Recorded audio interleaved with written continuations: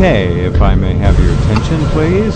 We are going to board and depart for hour number three. This is not going to be a fun and happy hour. It's going to be an hour of reality, a reality of unanswered questions, although more are being answered all the time.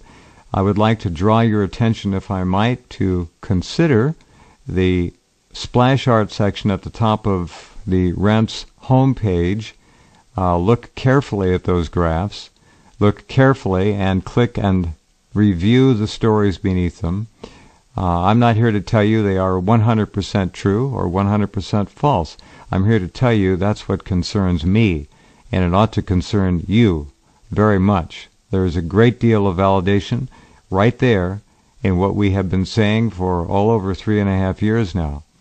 Uh, this is a story that's not going to leave us in our lifetimes or the lifetime of our children or our children's children. This is a forever story, and the Pacific Ocean is only going to become more and more deadly. They call it contaminated. It's radioactive. Look at the charts, look at the graphs on the right side, for example. You will see in 2014 the sea surface temperature right now. All right? Look at it. Look how hot it is off the west coast. It's directly off the west coast. And then below that, look at the projection of cesium 137 next year. It's a perfect match. You understand what's heating the water. This is what Yoichi has been telling us. Yoichi is off tonight. He's involved in a business meeting and couldn't be here and sends his regrets. He'll be back next Monday. The idea that radioactive nuclides can heat the ocean is something that the media will not touch.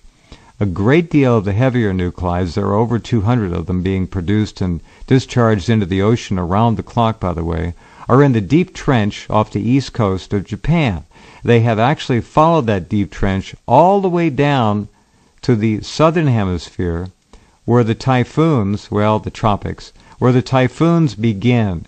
And they are actually becoming more and more aggressive and stronger because of the heating coming up from the trench. They formed right over the trench, the deep, deepest part of the ocean. Uh, the idea that cesium 137 and many other nuclides are going to warm up the eastern Pacific off the west coast is right there in front of you.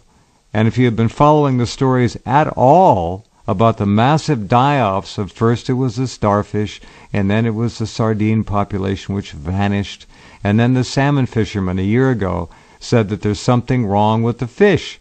And they paid for their own testing of salmon, and they were very brave and very forthright. This is their livelihood. And the test came back very discouraging. Uh, the number of tuna now is said to be only 10% or less of the normal population of tuna up and down the west coast. So Mexico has outlawed the fishing of tuna. It's a, it's a collapsing species. I could go on and on and on. We've covered this before. There's one man and some friends. Uh, he is up in British Columbia right now on his second research investigation of what sea life remains along the British Columbia coast. And around, I don't know how many thousands, uh, 20,000 islands or 25,000 islands up there. But what Dana Durnford has done has gone, as they say, viral. He is up there right now with some co explorers, and they are taking photographs, taking samples, making radiation readings on a much larger scale than their first trip, where just he and Terry went up and down 200 kilometers of British Columbia's coast on the east side of Vancouver Island, where they found literally nothing left in the tide pools at low tide where there should be tons of ocean life. Nothing. You've seen the pictures, many of you, you understand. So what Dana is doing now is launched, he has launched and is involved with, along with several others, in a 24-foot Zodiac, self-righting if it need be, uh, another trip further up, much further up the coast, and we're going to be uh, talking to Dana and finding out exactly what's going on up there. And let me find out for me if uh, if he's online. Are you there, Dana? Can you hear me? Got you, Jeff. Thank you. I am. Very good. How is it going up there? You sound a bit tired, and I can't imagine you sounding any other way, given the weight on your shoulders. This is a very big It is. undertaking. It is, Jeff. It's really something. I'm worn out. We left uh, Bamfield this morning. We went out and hit the low tide at uh, daylight and got back in and bailed out. And it was a four-hour drive out the worst road you've ever been on. The 87 kilometers took us four hours. And so we're traveling at 20, 20 25 kilometers an hour. It was really brutal. And, and we're finally out of that area, we'll head on down to Ucluelet up to the west coast tomorrow and do four or five days there and move on up the coast. We we're up in the Ban- Bamfield. I think this is so significant that we, we actually got an emission of the damage to the ocean from Bamfield, from the director himself of Bamfield. And Bamfield is a marine research center, folks. And what they told me was that uh, the white sea anemones, now they get different colors, but they're the same family, Uh-huh. don't grow on rocks. And of course, it didn't only take me a few minutes to go out and look up all the dive shops. And then I went over to their YouTube channel on YouTube, the Bamfield Marine Research Center, and I found pre 2011 videos of white sea anemones on rocks by their students. So I mean, my goodness, they and I went to their site and they had purged all the white sea anemones. They have it's called free frillis uh, uh, pneumonias. They're called uh, plume pneumonias. There's several Uh-huh. different names for it, and all of them were missing. There was no research in 40 years on the most popular species on the coastline. What? This So- is this yeah, is so- Bamfield Marine Research Center, and they Right. the guy is pretending not to know that there are white sea anemones commonly found up and down the coast. Is that what you're telling us? Right, and you get up to 500 in a square meter. They clone themselves, plus they lay eggs. So there's two ways they can reproduce, and they're extremely prolific. Every rock on the shoreline, my entire life of diving the coastline was full of white sea anemones, among many other things. And for him to do that and say that, I mean, that that is an admission that they're covering that part up. But how how is it possible that we lost all of those filter feeders? Well, obviously that's Fukushima radiation, and there's nothing else can wipe out the entire species along the coastline and, and have the researchers say that it doesn't exist here, it doesn't grow on rocks, when that is its natural habitat. Uh, that is startling, truly startling. And another statement he made, which I think is really telling, he talked about sea urchins. I used to pick 20,000 a day. And so we pick three inches to four inches only because the boilers won't touch nothing else. And he was saying we were picking eight inches and we, we killed off the sea urchins. That's what he was blaming on me not finding them, which is ludicrous, of course, because the boilers won't buy that. And if you did pick 20,000 pieces of eight inches, you know, you would have, um, it, you couldn't sell it. There's no eggs in that. So what they sell with the sea urchins is what's called a uni. It's the gonads, it's the reproductive organ Mhm. of the sea urchin. So about 5% of the sea urchin is sold. And that's worth around $700 a pound, $1,400 a kilogram. Really? And so it's And yeah, the rest of it is just uh, made into dog or cat food or something? right. Yeah, made an offal or something. Mm-hmm. And so for him to admit that, come out and try to explain it away after I tell him I was a diver working on that industry for many years is startling because he should understand. He's an ecologist expert, and he has 70 universities that have researchers at that institution. And so that's a real high quality, extremely well funded, oh, you know, a few hundred million dollars sunk into that since they've been there. And they haven't got no studies on why the white sea anemones don't uh, cling to rocks there either. So they haven't got no studies on why it don't happen, and they got no proof that that is true. And proof is, of course, by all the dive shops. You can you can you can type in folks Barkley Sound underwater pictures. B A R K L A Y B A R K L A Y Barkley Sound Right. underwater Sound. pictures. Okay. Yeah, and you'll find all kinds of pictures of sea anemones taken pre 2011 by all kinds of tourists and divers and dive shops. And this And, guy is uh, acting like there students. just aren't any there. I, I and they never have been. They just don't. That's Right. not their habitat. This is it. This is em- this is totally embarrassing. just I it. Yeah, I recorded it. I recorded it. I never told them I was recording because I really don't care about these people. They they have proved that they don't deserve any kind of uh, courtesy. Well, they're know? working. They're working for the executioner, is what they're doing. They're lying. It's really something. Yeah, they really did, and they lied to me, of course, and that was a big mistake because I went and hunted up the information and posted. I posted that interview, and he can't get away from it. But what it means to me, and you know yourself, is that here's the admission that Fukushima has killed at least that on the coastline. Yeah. We never found none of the chitons on the coastline. We didn't find any periwinkles on this coastline. These are indigenous, just five different species. We didn't find, and, and we didn't find the the whelks or the sea anemone or the um, snails or the per, or said the periwinkles. We didn't find the very basis of what should be there. And so, what's going on here is there a really concerted effort to bury that particular fact, and that is our evidence. And so I'm not sure how to push that out there. Well, I've got uh, we- Dana. I I wanted to wait till tonight to have you Sure. on. I'm going to put this video up. It's only got 1,200 views. We're going to push it much higher than that. Thank uh, you. This this again, and I wanted to introduce it personally before I posted it this evening. Later with the night news Sure. batch. The director of BAM BAM Bamfield Marine Research Center, on the record, tells Dana Durnford that sea anemones do not cling to the rocks in Barkley Sound. well, uh, it's right there. Another lie. Just like this reminded me of Dr. Kai Vetter at UC Berkeley, who has Right. somehow magically been put in charge of the Kelpwatch 14 2014 study, and he announced the results of it before they had taken their first sample. And yeah, we I got, on that. headline off you. Yeah, yeah, we got him, and, and he had to back off. And you see that this cover up is uh, is really not going well. But unfortunately, when you have the mainstream media, all you got to do is tell them silence, and you get away with this kind of stuff. But we're not going to let them get away with it. Uh, No, without making a, a hell of a try at, at illuminating the world to what's going on. This is an enormous lie. When you look at the graphs on the home page, uh, folks, understand that that is not a one-shot, one-time portrayal of the cesium-137 in the Eastern Pacific. That's the way it's going to be for the rest of your lives and your children's lives unless some miraculous breakthrough in technology appears out of nowhere, which somehow enables uh, TEPCO or somebody to tear these bleeding, oozing, horrible, broken reactors out of the plant,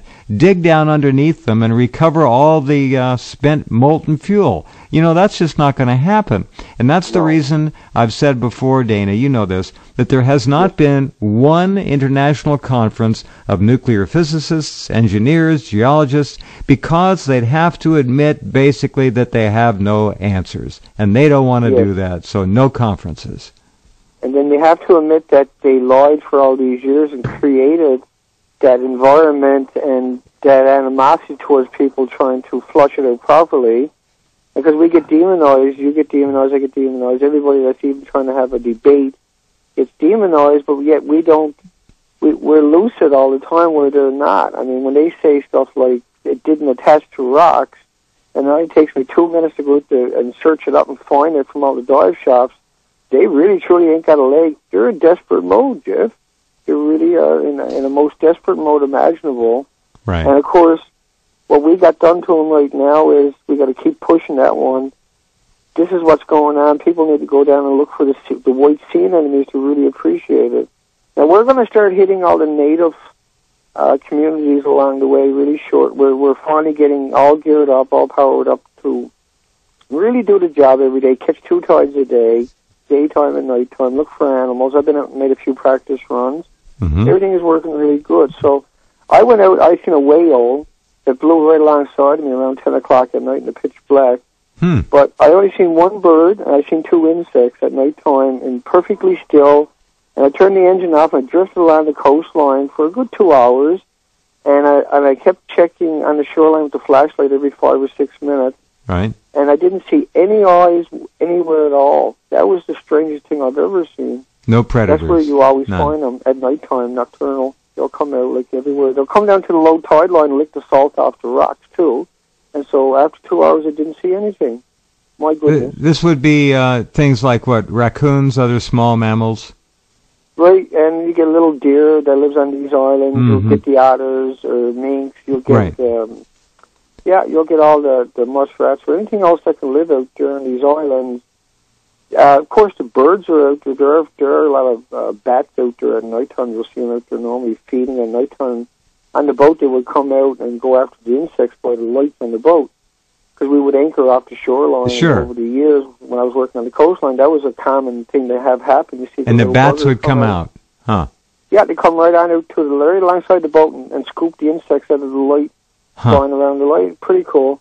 They don't have any fear because they don't have any predators up there.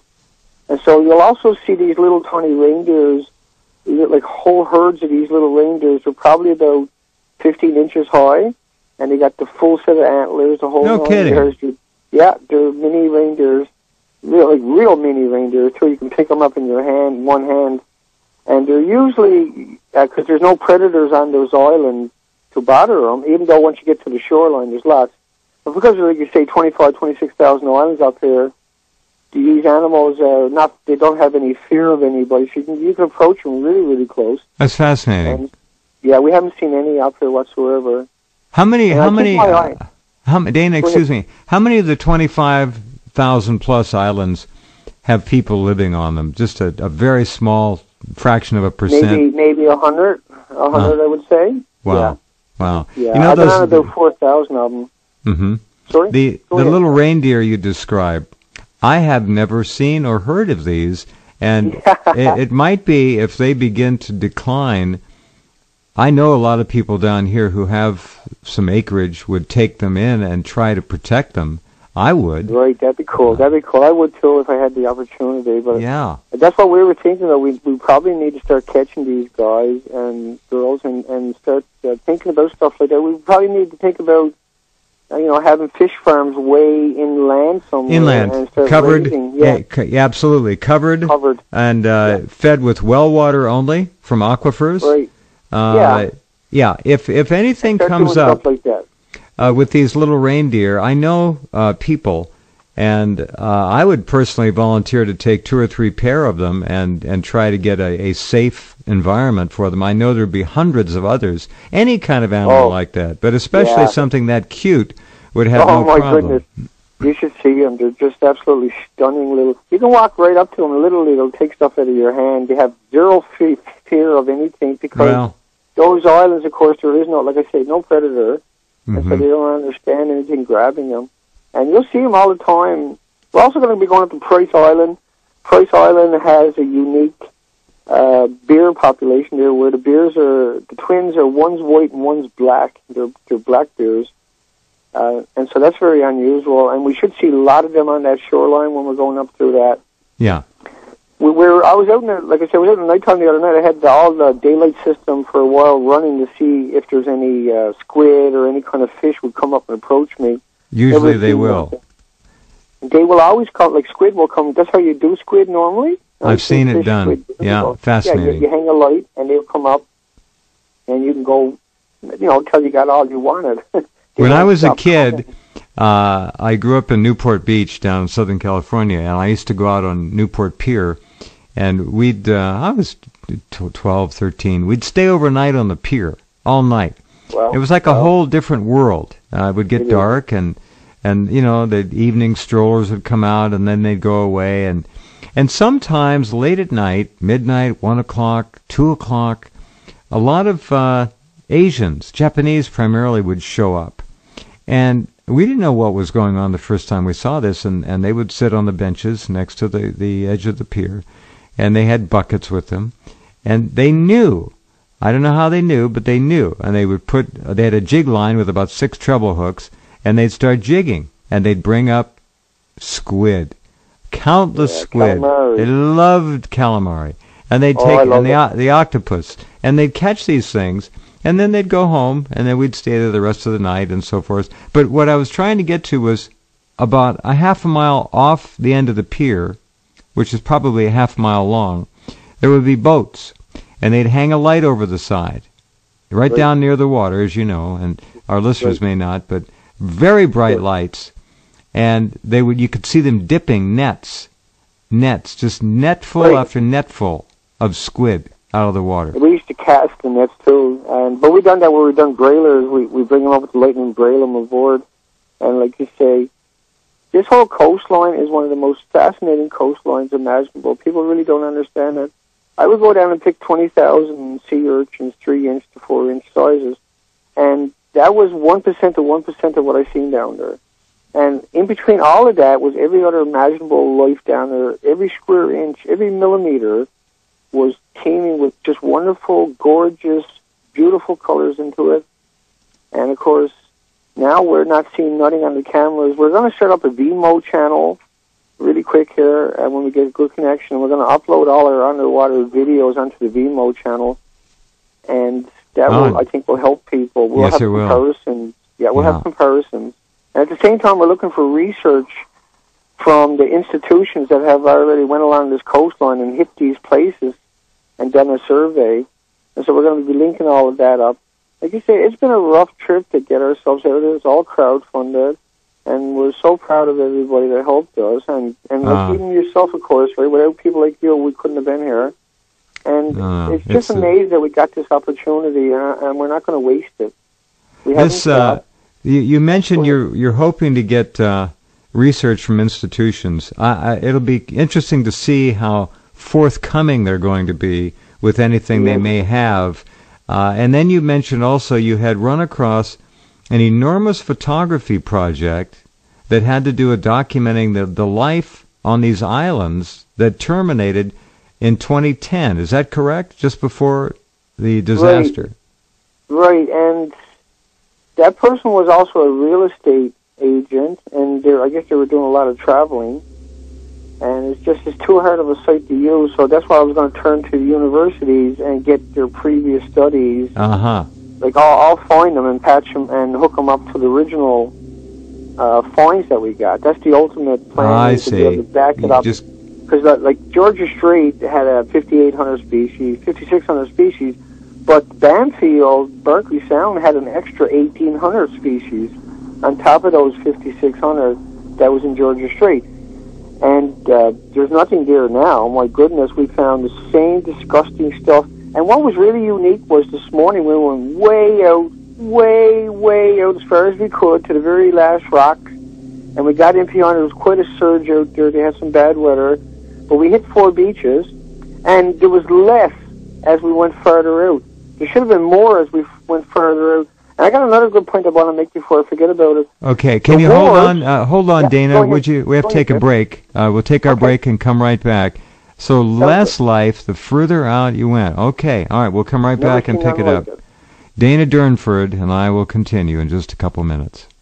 sugar energy drink that you make at home. For about a dollar a day, you can benefit your health in a way you've never dreamed of. That's why the buzz. Join those who have made the choice for better health. Taste the drink that is changing lives. Read the testimonies at getthetea.com. Want to order? Need to order? Log on to getthetea.com. Appropriate name, I might add. That's getthetea.com or call 928 308 0408. That's 928 308 0408. Say no to sickness and disease. Get your power of health back, but you need to order. GetTheTea.com. Helps with cholesterol, liver disease, Crohn's disease, digestive problems, and much more. That's GetTheTea.com. You're listening to Jeff nationwide and worldwide on the internet on the Rense Radio Network.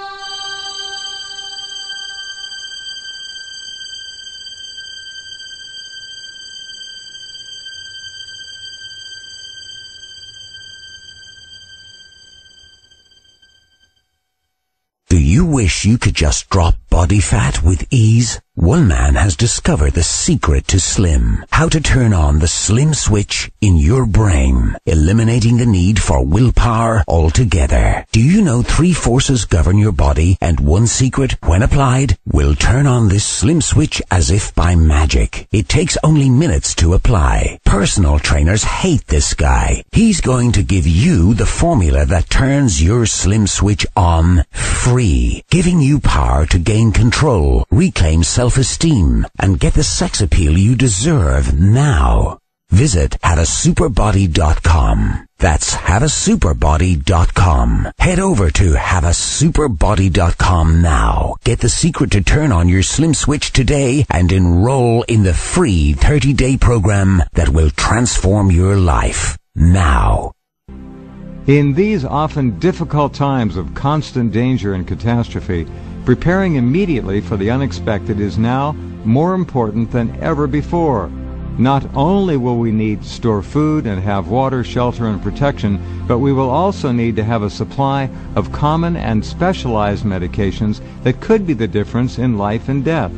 In literally a few minutes, our entire social structure could be torn apart. The trucks will stop running, and everything from food to pharmaceuticals will vanish from the store shelves. So move to protect yourselves and your loved ones by going to confidentialrx.biz to find out what your medication options are and make the plans you need to ensure your safety. Go to confidentialrx.biz while there's still time. That's confidentialrx.biz.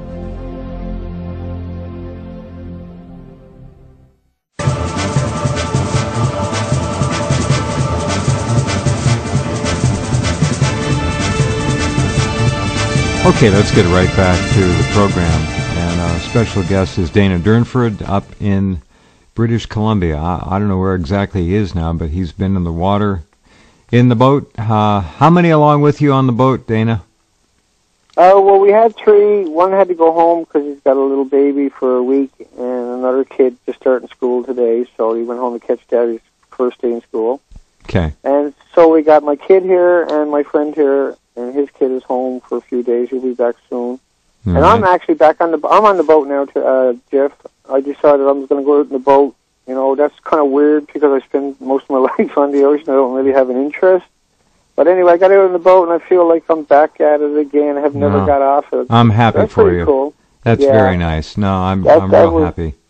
Because it's safer that way with me. To I feel I feel safer. We got all the equipment, of course. But I wanted to touch that point before I forget about it. Yeah. Was in Bamfield was a really unique thing was that we found uh, little two and three inch uh, white sea anemones on the on the wharves, the floating wharves, but we didn't find it on the pylons of the big wharves. Huh. And so I was postulating how that could work out. It doesn't make sense because if you find them on the wharf, you should find them on the on the rocks. But he said you don't Absolutely. go on the rocks, but there was Yeah. lots on the wharf. Mhm. Well, what's going on? And I can assure you, folks, that this is probably 100% true. Is somebody because they have a couple of hundred students there.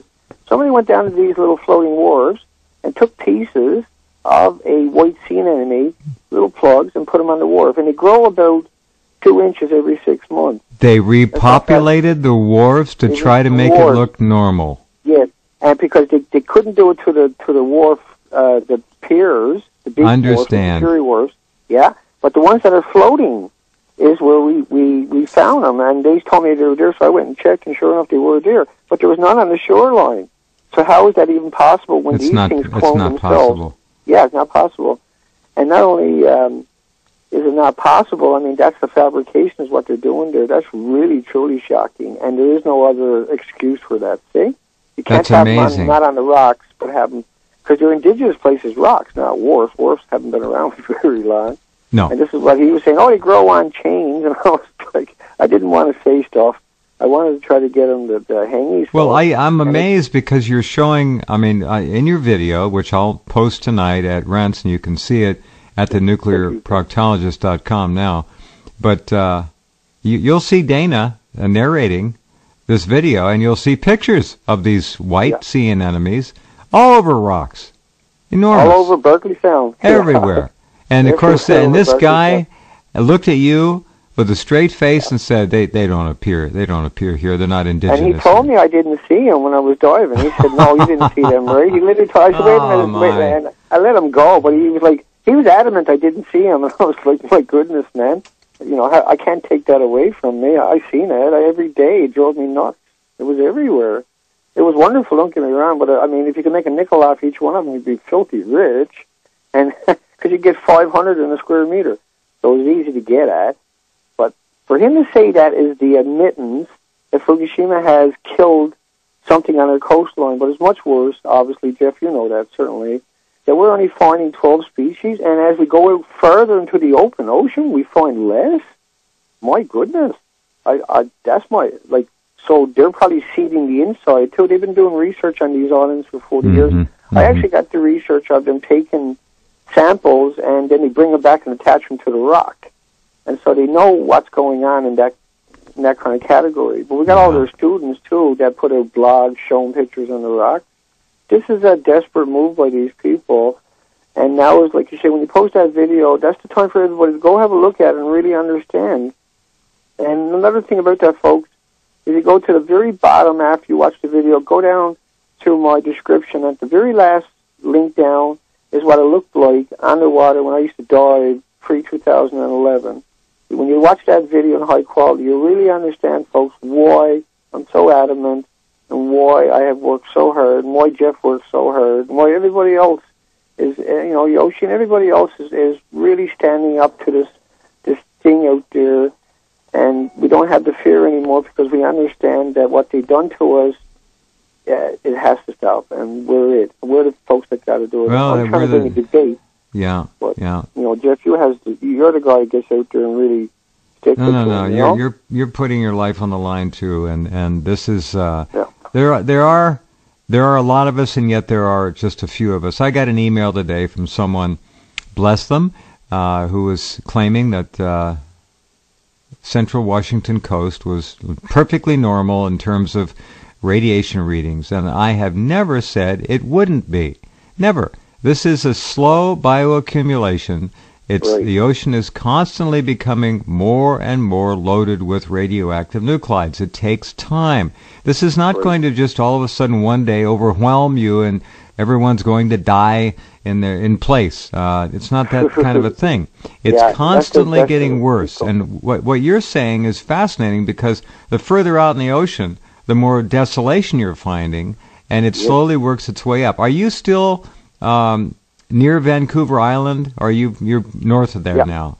We're on that. We're yeah. It's going to take us another week and a half. Two. No, it will take us more than that. Another two and a half weeks to finish Vancouver Island's Uh-huh. 460 kilometers long, and we're, we're methodically doing each section that we can get access to. Now, our next drive, the morning when we get up in the morning, we drove 87 kilometers today. That was too much for me. And our motorhome broke down last week, so we'll pick that up tomorrow morning. We missed. We got in too late tonight to get it. We got lucky on that. He's only charging us $250. Think about that one. Imagine that. Somebody It with a heart. Yeah, it cost six fifty to get it towed forty miles. They gouged us big time, and then the guy who was going to fix it, we figured it was a timing chain or something, and he checked. He said, "No, that's fine. Carburetor's fine. The choke was a little bit messed up, so he tied it back. So he put another battery in and fired it up. So it turned out it, it wasn't the alternator; it was just a wire. And so he told us all that on the phone. He said, "Won't cost you more than two fifty. We'll find it. We'll fix it. And you won't have that problem no more." And I was like, "My goodness." That's probably the best news I've ever got. I thought we Wow. were going to get hammered, you Well, know, on a motorhome. Uh, Yeah, Go they figure, usually take right? advantage of those people. Uh, this like uh, G-note or something. There, yeah, there are st- there are still some wonderful people out there, and you It you ran so. into one of them today. That's good.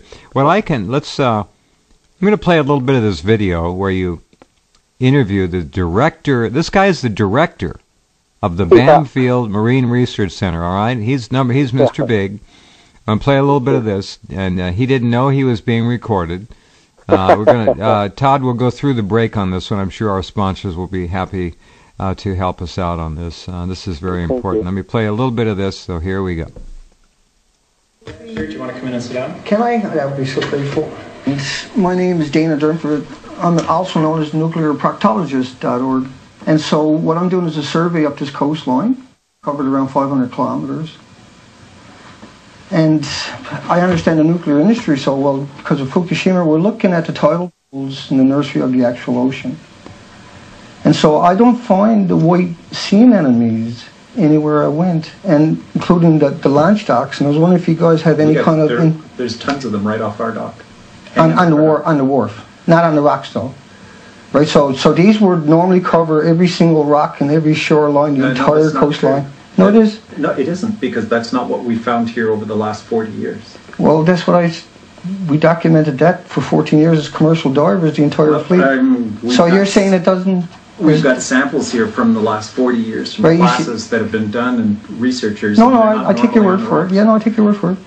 I was just wondering because I don't see them on the rocks. I only see them on the wood, and that's not what I'm used to seeing for six hours a day, 315 days a year. And I'm really perplexed. Now, it's not just here. It's the It's what all we're way. used to seeing.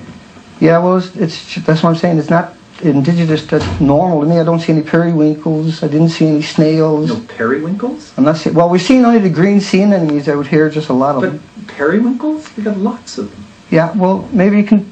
Is there a chance you can tell me where to, and we'll go find them? So, which species are we talking about? We're talking about uh, 5,600 that are recognized for here of the marine life, the 600 algae, the 770 Sorry, sea anemones. periwinkles. Now the periwinkles in particular, I think there's five of them, is it, or six Yeah. of them? And I know Barkley Sound had an extra 1,800 more species than Georgia Strait did of different species that are indigenous to the coastline.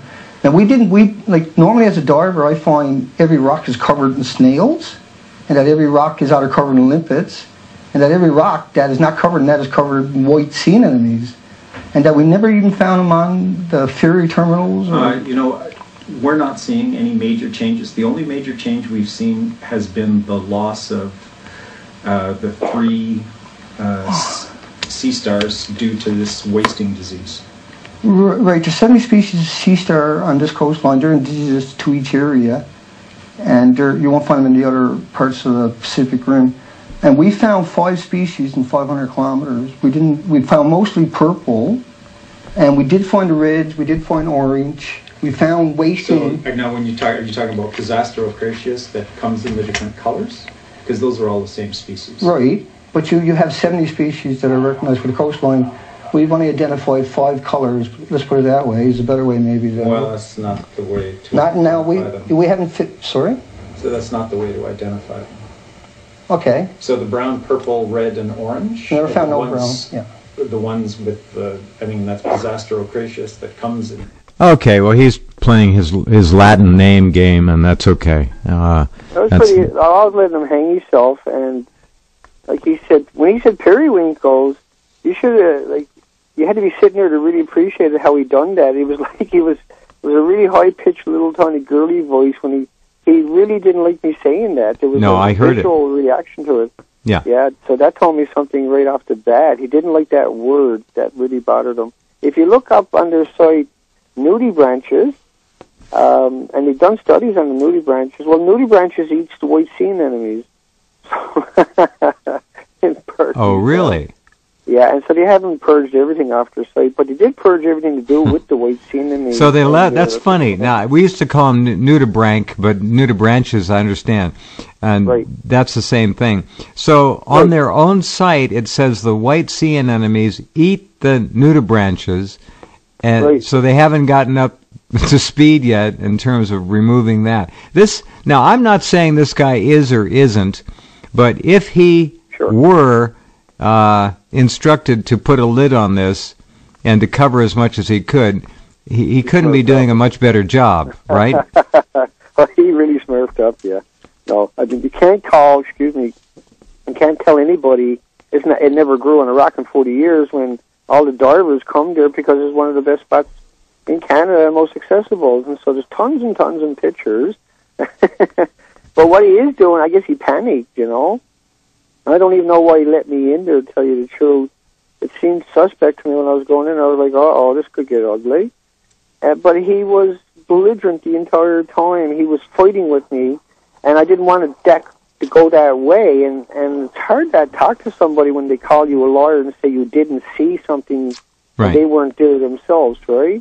Well, he was So very do you- confrontational. Absolutely. He was, yeah. He was a belligerent on top of that. But once again, he was adamant that I didn't see it. And how can that, that be like me being adamant you didn't see something you've seen? And Mhm. that would that would That's- that would be an insult, one hundred percent. to you. Pretty Like, okay, bye, embarrassing. Yeah, That's- you know, like that's yeah. nonsense. Go ahead, Jeff. I'm sorry.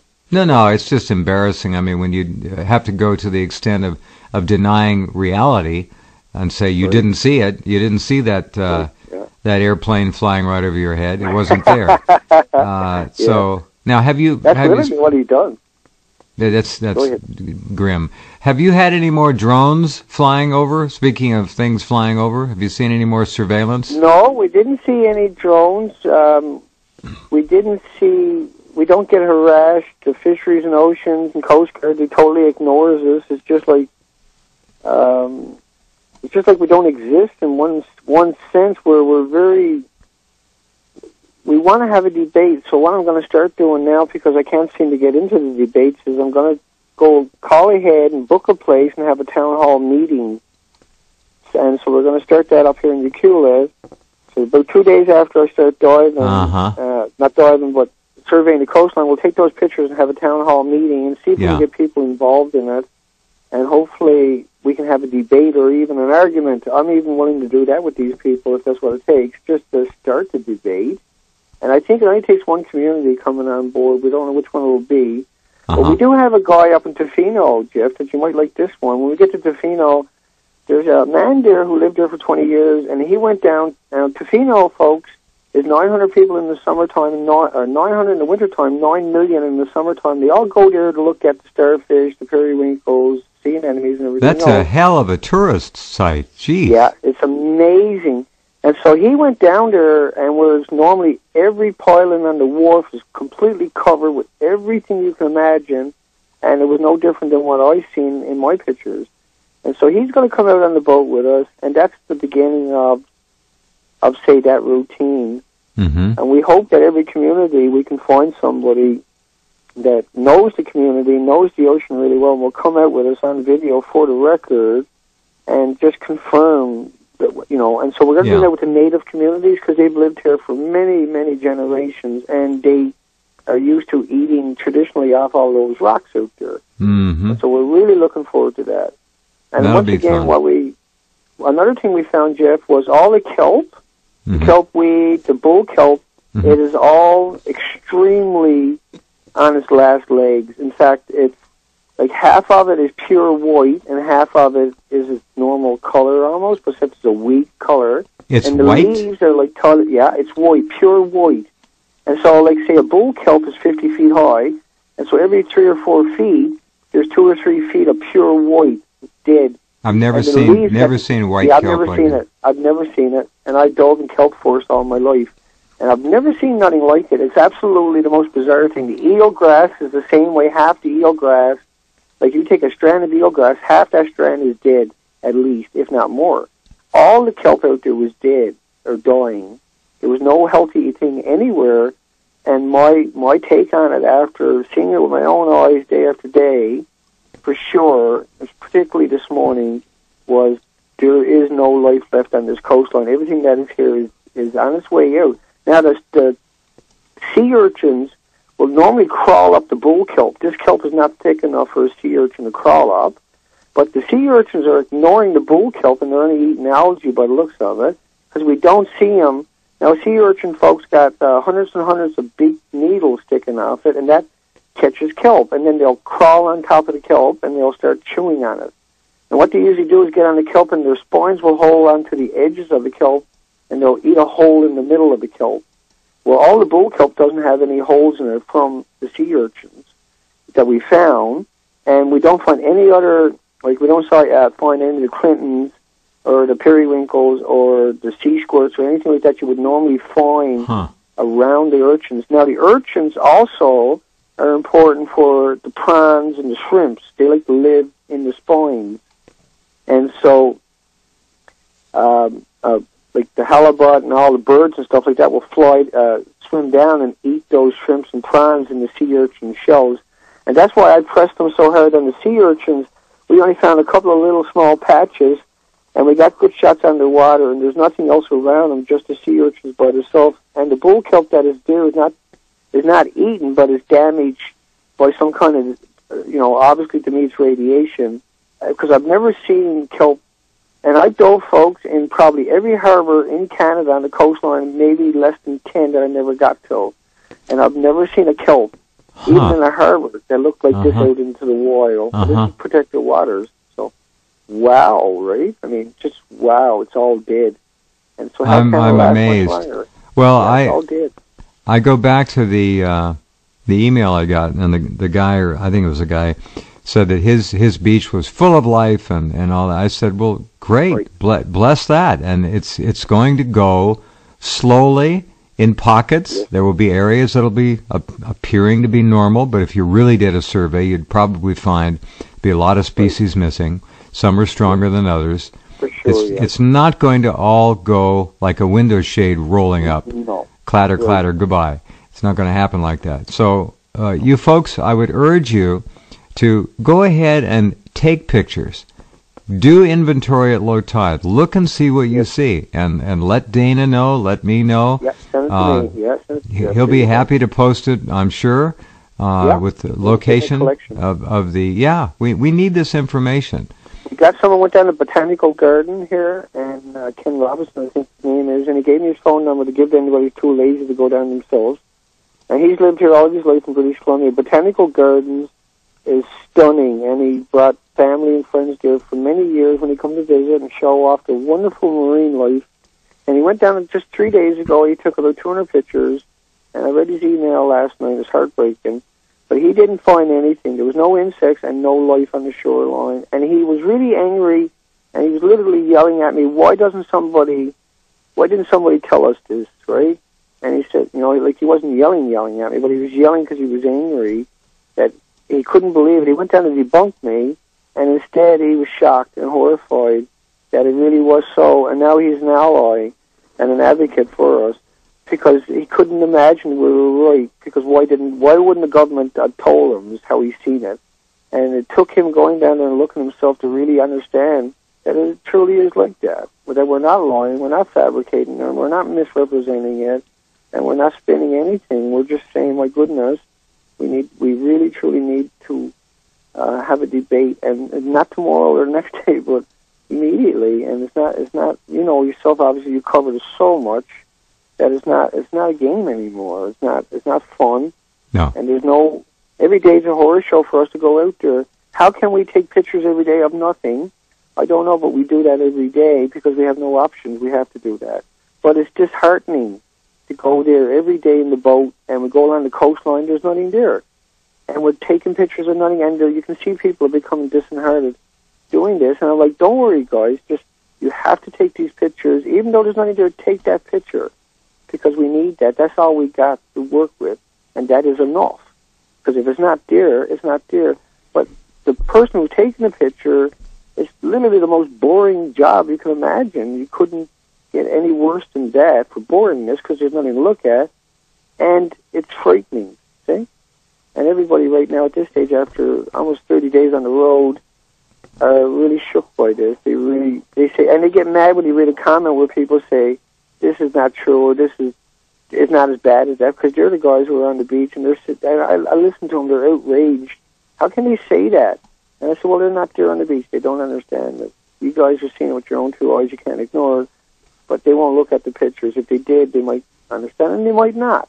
And that's why that video, the very last link under that one, Jeff, you're going to put up about the Bamfield. That last link is pre 2011 from Bamfield, and it's stunning. It's gorgeous, um, unimaginable. It was like I seen every day, and why some days it would make 20 jumps in the ocean because you couldn't get enough of it. Just pure life, every square millimeter.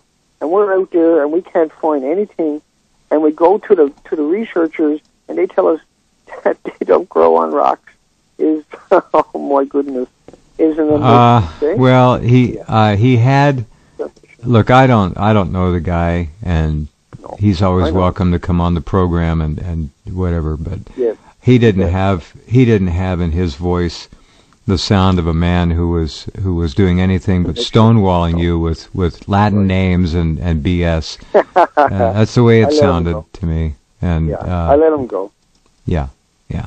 I didn't well- know how to do a proper interview like yourself, who have done tens of thousands. I didn't. I didn't know how to do that. See, so and You did he- great. know, No, you did me- just fine. He wrote me pretty rough. I was nervous, of course, but I'm not going to be no more. Right? That was that was the only one I needed to do to get to get past that little home. Next time I'll have the questions, and they won't put me off. They won't be able to berate me, and it'll be totally civil and totally lucid. Exactly. And I'll just I'll ask them all the hard questions, and if they, they they kick me out, I'll say, okay, well, you know, you guys have enough nice day, and I'll leave, right? That's I'm right. Confrontational. Yeah. No, no. No, I'm you're doing it just I right. just want to get a question, right? Just ask a simple question, and hopefully somebody will have a heart.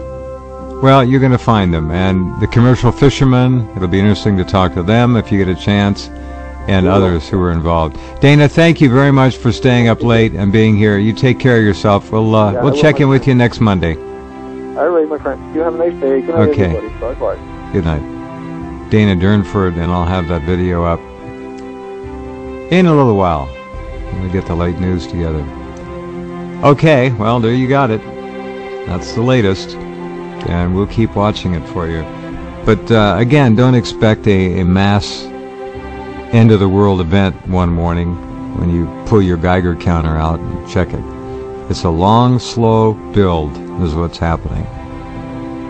All right, we will be back tomorrow night, Tuesday, and we'll do it again.